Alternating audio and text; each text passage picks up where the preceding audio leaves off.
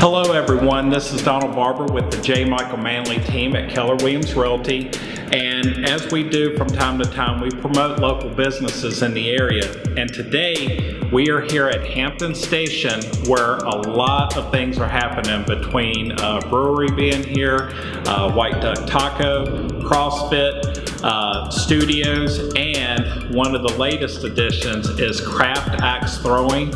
Uh, right here, this is Chelsea, and Chelsea, thank you for having us here. No problem. Uh, the first question I'd like to ask you, Chelsea, is how long have you been at this location, and how many are there other Craft Axe Throwing um, businesses in the in throughout other states or other towns? So we're actually the first one of our location, and but there are two more opening up in Omaha and Springfield. So out of the area, of course. And we've been here almost two months. Okay. So Thank- pretty short amount of time, but business is booming. That's great. Here we are at Hampton Station. What exactly made uh, the owners choose Greenville and Hampton Station in particular as a location? So Greenville is just an up and coming city. It's growing rapidly. They are the same owners of Greenville Escape Room, so they already knew that business did well here. Yes. And they chose Hampton Station just because it's so relaxed. It's a happen place to be, family friendly. There's just a wide variety of people, so they thought this would be perfect to try and set up something new and unique, and thought it'd just be very welcome here. So, Chelsea, I have an axe to grind with you. I'm just kidding. I would love to know, because I've never played this and most people out there have never played, how exactly do you keep score in axe throwing? So the way it's scored is very similar in the way that you play darts.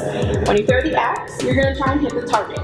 The center of the bullseye is five points, and then it goes out from three, two, and one. It depends on what game you're playing, but if you're playing for a high score in the 10th round, if you hit one of the blue dots, it's going to count as 10 points, and it's usually game over. So, what are uh, what are the prices uh, of the games here to play? So the most common one is the hour of throwing, and that's $20 a person. And each lane can hold up to four people. And often if you have a large size party, we do get you side by side so you're not split up from your friends. And then for walk-ins, we also offer a half hour option, which is $12.50 a person. Okay. So, Chelsea, may I ask you another question? Why, of course. Uh, Chelsea, so um, exactly when you come in here and you've never thrown an axe before, uh, is there someone on staff that actually gives you maybe a few demonstrations? Yes, definitely. So when you come in, you're usually greeted by our staff, as well as you're taken back to your lane by one of our experts. They are excellent throwers themselves, and they will give you tips and feedback on how to actually make the axe stick in the target and how to improve your throw. So you're never left on your own, and we definitely don't just put an axe in your hand and let you go crazy. That's good to know. And one last question. How exactly could people find you either through social media or online to learn more about your business or to make reservations to come out and play?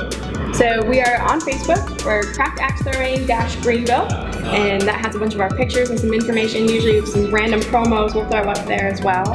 And you can book on our website, which is craftaxethrowing.com, and you just select the location for Greenville, South Carolina. And it has a reserve a lane button, and it shows you a little diagram of our facility, so you can pick which lane you want to reserve with your friends, as well as pricing. And there is our phone number should someone have any questions. Okay, thank you.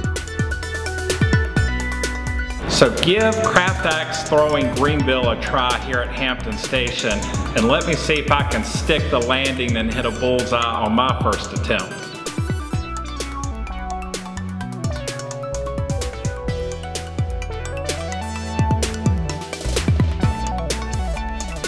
Look at this.